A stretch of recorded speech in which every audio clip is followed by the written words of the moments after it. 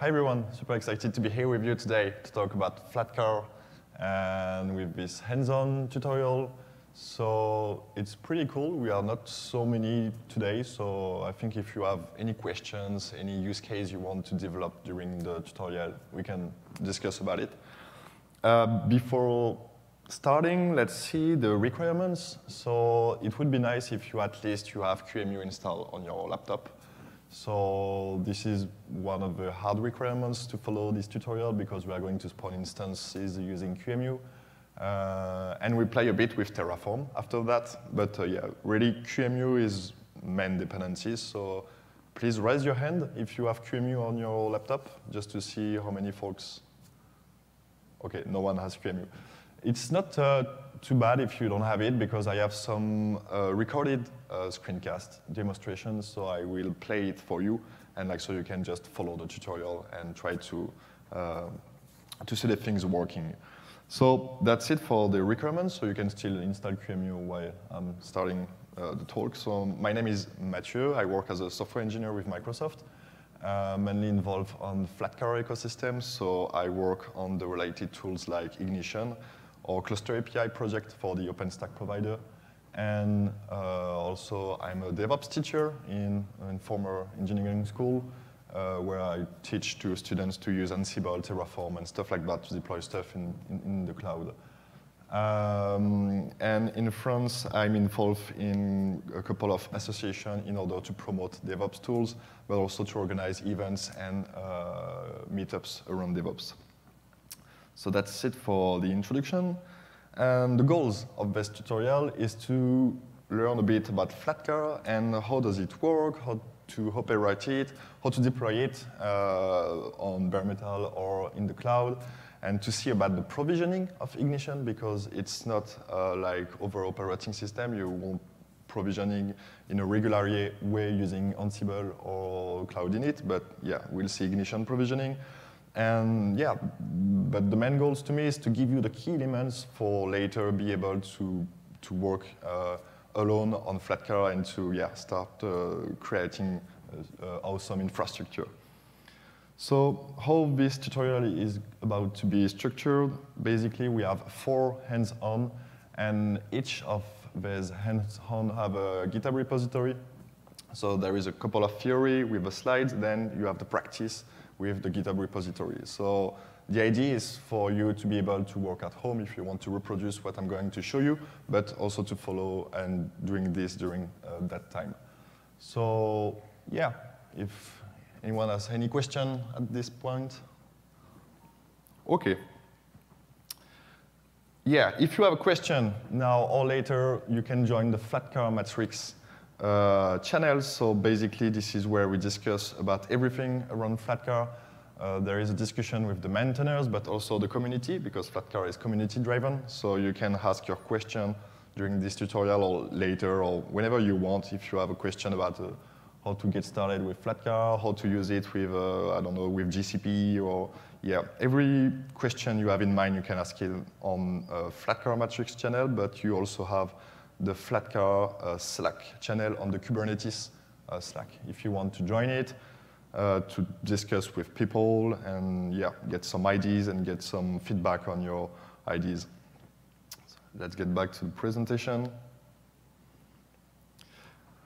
Um, Flatcar, uh, anyone is already familiar with the concept of Flatcar?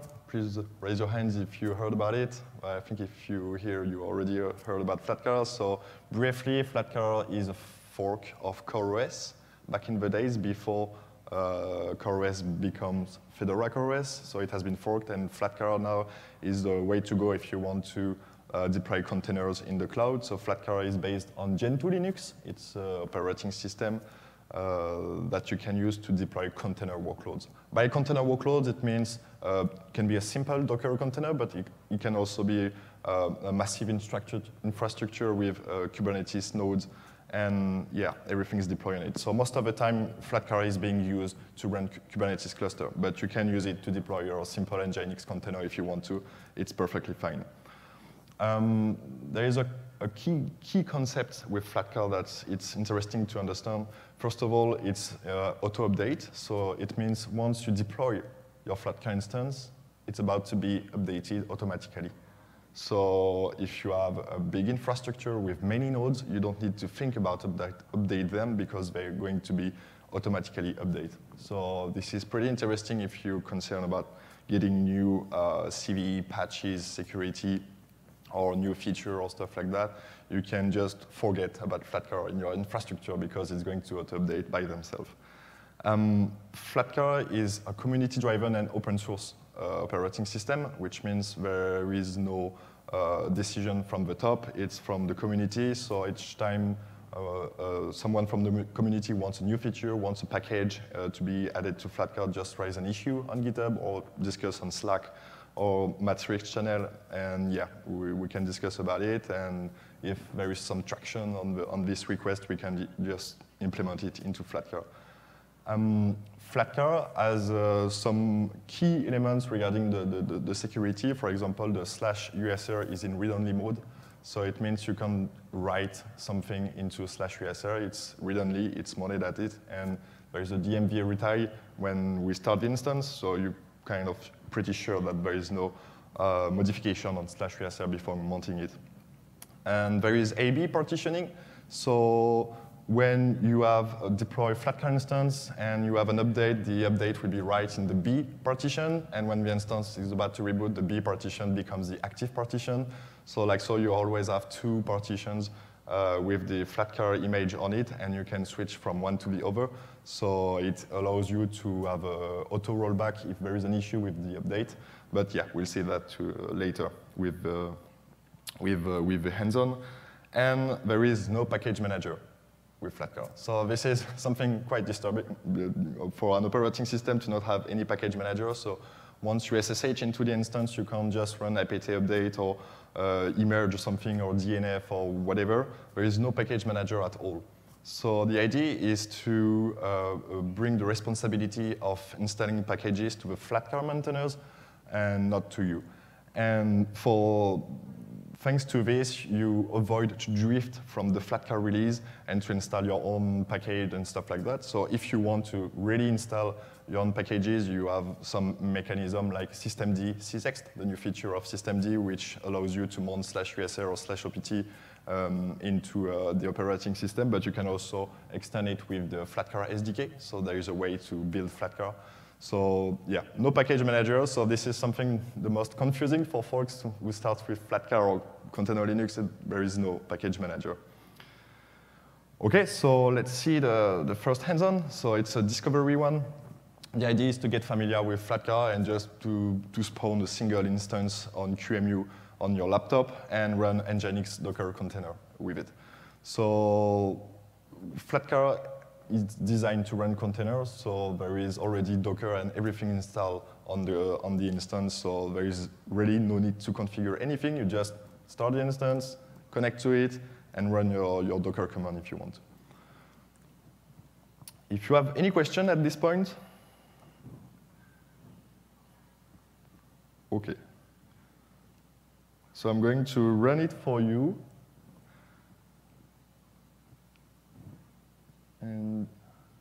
OK. So everything is available on GitHub repository if you want to uh, do this later. But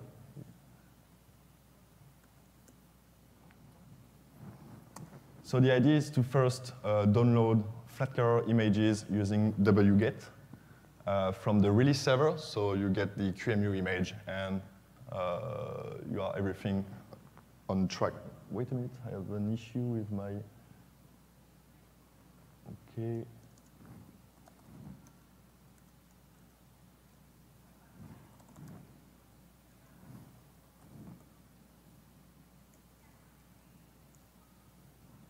So you download, yeah, you wget the QEMU image from the release server. So it takes a bit of time. It's uh, only a couple of minutes uh, if you have a good, uh, good network provider. And once it's done, you just unzip the image from the, from the server, and you are ready to go uh, to, create, to create your QEMU instance.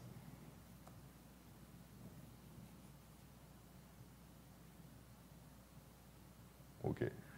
So now the instance is starting, so you can see Flatcar booting live on your computer, and you can see that there is no package manager at all, so I just connected on the Flatcar instance, so regular Linux system, but yeah, no package manager, so uh, pretty confusing. and now I can just run nginx container just for the proof of concept, and that's it. Nothing to do, already is installed, nothing to uh, to provision like with Ansible or Ubuntu or Debian, you need to yeah, install Docker and all required stuff, and yeah, that's it. I have uh, Nginx working fine uh, on, on, on Flatcar. So this is really the, the, the, the, simplest way to get started with the operating system to develop stuff on your own. You just get QEMU image from the release server, and you have a, a helper script that allows you to run things and you can yeah play with it, uh, install stuff, and break stuff. Uh, I mean, yeah, this is the most simple way to do. And that's it. So yeah, if I get back to the slide.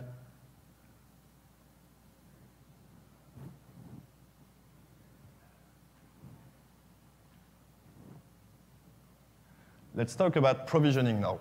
So this is nice, nice. With the discovery hands-on, we just started a QEMU instance of Flatcar, and I run Docker container on it. Now I want to bring some automation around it, because if I want to deploy this in the cloud with many thousands of Flatcar instances, I don't want to SSH into each of these instances to run uh, Nginx containers. So how can I provision the instance? You could use Ansible, yes, but uh, by default, there is no uh, Python environment into Flatcar. So the idea is to use Ignition, and Ignition is developed by CoreOS, uh, Red Hat. It's open source uh, provisioning software. It's uh, binary wrote in Go. And there is a couple of things to know about Ignition that are pretty interesting to know as a provisioning tool. It's, uh, it runs from the initram file system, so it's really early in the boot of the, of the, of the, of the instance. It runs uh, once, so if the provisioning has correctly been done, it won't run anymore. So this is not like Cloud Init. Cloud Init is going to run almost at each boot of the instance. Ignition, if everything has been fine, it just don't run any, any, uh, anymore. And with Ignition, it's all or nothing. So if you have an issue with your provisioning, the instance won't boot. It just fail to boot, and you will land into emergency target of boot uh, phase.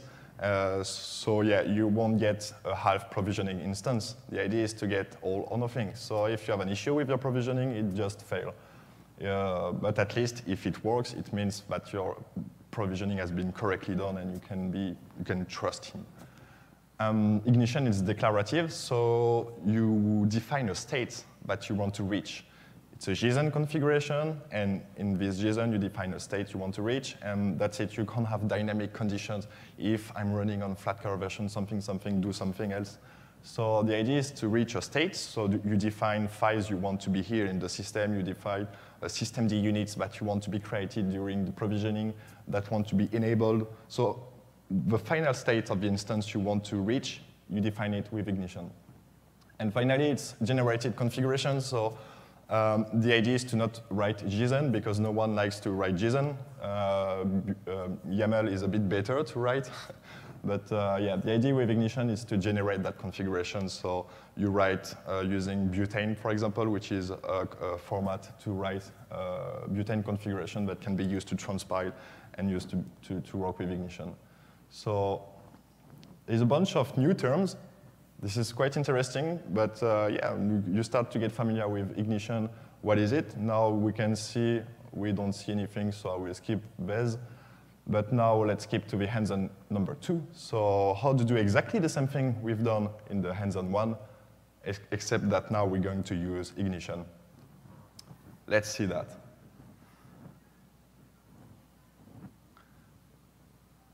So if I'm going to And then two, there is a README, there is a config.yaml, and there is uh, the demo. So I'm going to zoom in.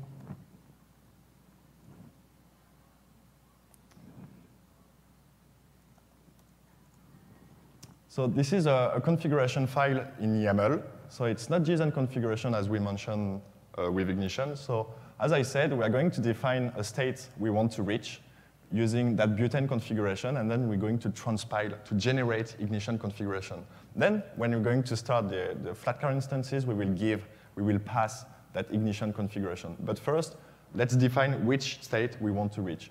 So for example, I want to have Nginx service up and running. So Nginx service is going to simply run Docker, image, Nginx, uh, something, something, well, any, anything you need to, to, to get to, to run Nginx. And uh, is going to be enabled. So you can see there is this enabled key uh, here. So it basically means uh, create a symlink. So when the Flatcar instance is going to boot, it's going to enable the Nginx service, and I will get everything up and running. Now I want to create a file. I want to display hello world. So I'm going to create a file. So you can check the documentation, and I'm going to try to do it without the documentation. so the idea is to define files, and we want to be that files to be in slash opt slash um, no in well, w index.html. So really static files. We want some content.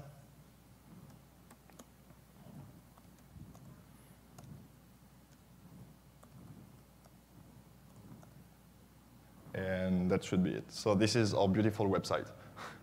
Uh, the idea is to just show hello Open Source Summit North America. But uh, if we try to see what's going on, we want a file to be into slash var slash www slash index.html. And we can see that this folder is about to be shared with the Nginx container here. So if everything works fine, we should get our uh, Nginx serving this index.html web, web, web page. So I'm going to save it, and I'm going to transpile it. So as I said, I need to transpile my YAML file to ignition configuration. So this should work, and if I check now my ignition configuration, I have almost the same content, except that it's forwarded to JSON. And you can see that you have some pretty nice stuff like this data formatting uh, data format.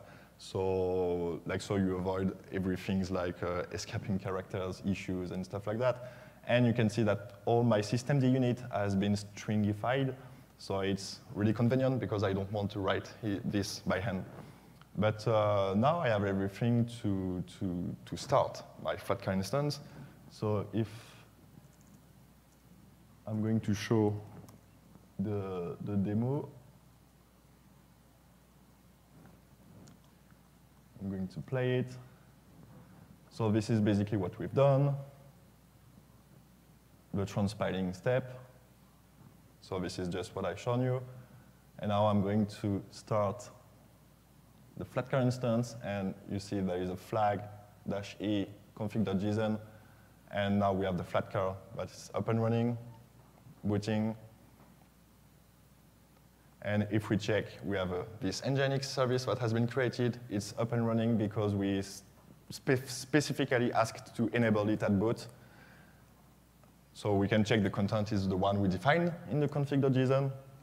We can see that there is my content in var www.index.html. And finally, we can check the, the logs of the unit, and you can see it's, it's downloading the Nginx image.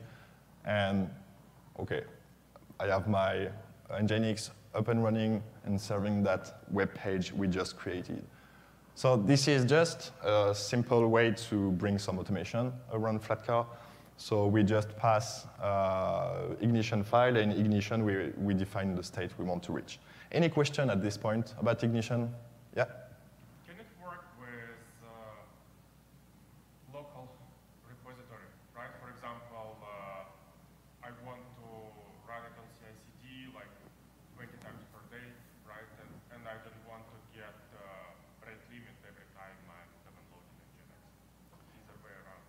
Oh, you, oh, okay, I see what you mean. Uh, since um, you're going to use Docker, in the end, you can specific your, uh, define your registry configuration into slash etc slash docker slash config.json, and you can define this through Ignition.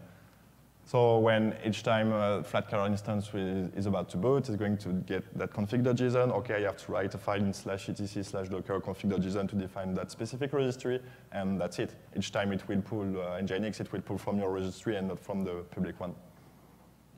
Another question? Uh, sorry, for people in the stream, the question was, uh, is there any way to specify a registry through Ignition? So it's nice. It works locally with QEMU and stuff like that, but uh, what about five minutes break? That should be right. Okay, it, it's run locally, but what about the cloud? We want to run it, everything on, uh, I don't know, on Google or AWS or stuff like that. Well, Flatcar provides images for really bunch of platforms. So you can have the, the bare metal, I would say, uh, and, but also virtualization, background VirtualBox, public cloud, AWS, Azure, GCP, Equinix Metal, OpenStack, well, everything you, you can think about it. And also some community stuff, so the Vultr, Rackspace, Exoscales, it's community-supported platforms, so it means we don't run CI testing against those platforms, but we do know that someone from the community did some test and wrote some documentation about it. It's available, but we don't test it before uh, sending a new release of Flatcar. But AWS, Azure, GCP, Equinix Metal, OpenStack are covered in the CI. So each time there is a new Flatcar release, which means every two weeks, uh, we ensure that every test are passing on these platforms. So if you want to do uh, exactly what we've done with the Nginx uh, proof of concept thing on Azure or GCP or whatever, it will work as long as the cloud provider supports uh, cloud da um, user data. So this is a screenshot from user from Azure, and you can see you can specify user data when you create an instance. Um, so in this spe uh, specific field, you're going to pass the ignition configuration in it. So Ignition has a mechanism to know on which cloud provider he's running, and is going to fetch uh, the metadata from the IMDS, so Azure, GCP, AWS, all these cloud providers has this IMDS service, which is a metadata service, and Ignition configuration is going to be uh, provided by the user on the user data fields on this cloud provider, and Ignition is going to fetch it when the instance boot. So it will be exactly the same thing as Flatcar with QEMU, except you know in the cloud. So this is the same thing with GCP, for example. You provide the user data, and then you paste your, conf your, your, config, uh, your ignition configuration. So it means once you have defined your ignition configuration, you don't need to rewrite it for each cloud provider or stuff like that. It just, you just send it to the cloud provider through the metadata service. So now it's the, the, the, the, the third hands-on. So the idea is to use Terraform uh, I hope everyone is uh, familiar with Terraform. Terraform is a way to define and to provision infrastructure using infrastructure as code. So you will define yeah, which instance you want to create using which image on which cloud provider. So for this example, I'm going to use uh, OpenStack because it was the simplest way to run things. So if someone wants to try right now with Terraform and OpenStack, I can provide some IP and credentials uh, if you want to. Otherwise, I'm just going to, to quickly show how does it work and to see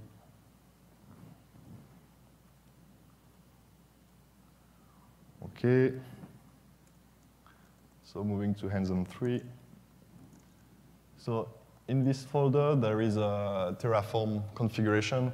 So the idea is to give you really everything to be plug and play. So if you want to, to try at home, you can just use this, uh, configuration, and uh, everything should work fine. So if we have a look to the, to the content, so I'm going back here.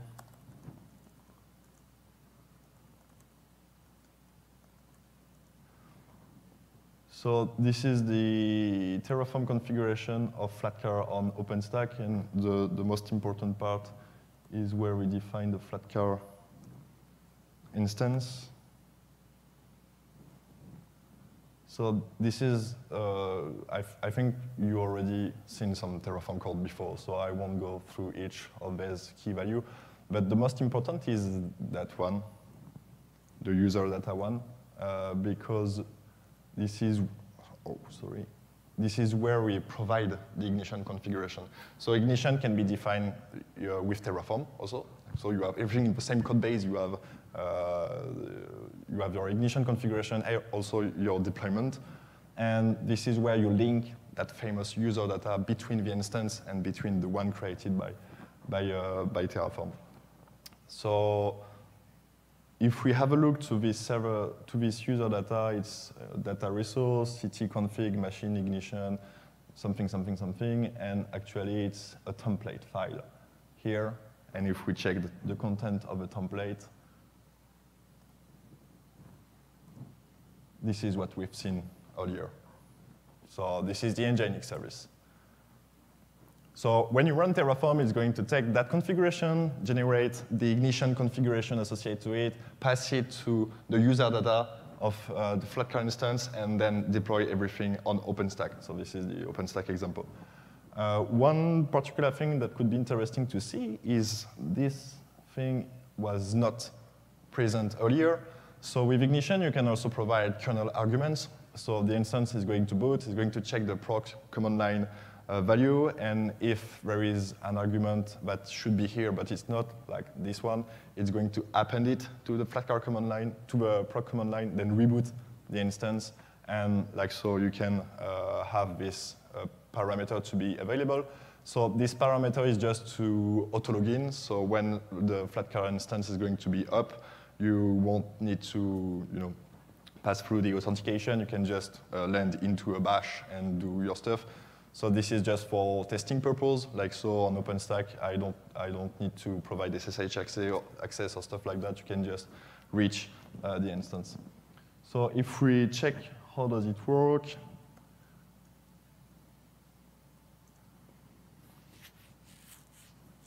So we're going to the Terraform folder. So this is what I've shown. I'm going to pass it.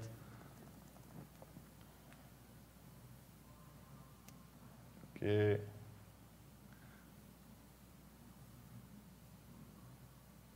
Okay. We've seen it too. So I'm adding back, I'm adding back this uh, index.html just for proof of concept. And that should be good. So I'm going to init. Terraform is always in three steps, init, plan, apply. So this is where we import the plugin, and I'm going to run Terraform plan. So if we check, it's going to create this ignition configuration, so you can see it uh, clearly, and it's going to create also a bunch of stuff we don't really care, like SSH key uh, for the provisioning, and yeah, everything we need to create an instance. So it's quite easy. There is just instance and image to, to, to create and I'm going to, to try actually if I can deploy it right now to show you.